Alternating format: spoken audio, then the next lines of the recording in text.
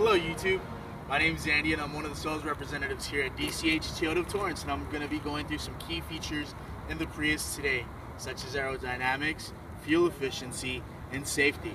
The Prius was designed to be aerodynamic. Uh, its coefficient drag is only 0.25 and it's designed this way so that it can give you better uh, fuel efficiency by creating less wind resistance. This is your energy monitor. What this allows you to do is to be able to see how your car is working in hybrid mode, whether it's on the gas engine, the battery, or working through the electric motor. Uh, something you should keep in mind every time you brake, you're regenerating the system. So we're able to achieve our fuel efficiency through our self-regenerating hybrid synergy drive. Beyond being the most popular green vehicle, our Prius was also chosen as the 2015 IIHS Top Pick Plus.